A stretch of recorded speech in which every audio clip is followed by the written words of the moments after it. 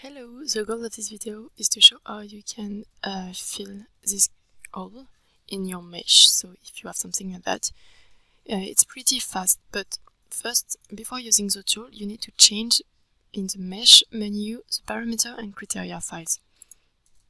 So if I go to parameter, on my side I know that the mesh size is about 1, so I can to 1 and select the element types that I want okay and I can do the same in criteria.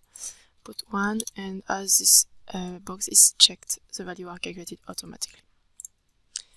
Then you need to go to elements all gap fill and use the patch fill. You have different uh, kind of uh, entities that you can select but on my side I want to keep the edges one. I click on the button select edges with a box. As you can see, we have orange lines. That means they are been selected. Been selected. Okay.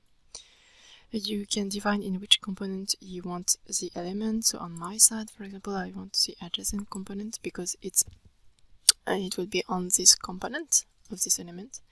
And don't forget to click the remesh we want to remesh the, uh, the, um, the, mesh that we will create thanks to the parameter and criteria files that we have filled up before.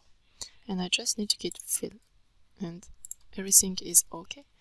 And if I go to validate to check if everything is connected, you will see it, it is the case.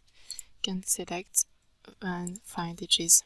So on my part is a little bit bigger, that's why you have this kind of line, but you can see everything is connected. That's it. Thanks.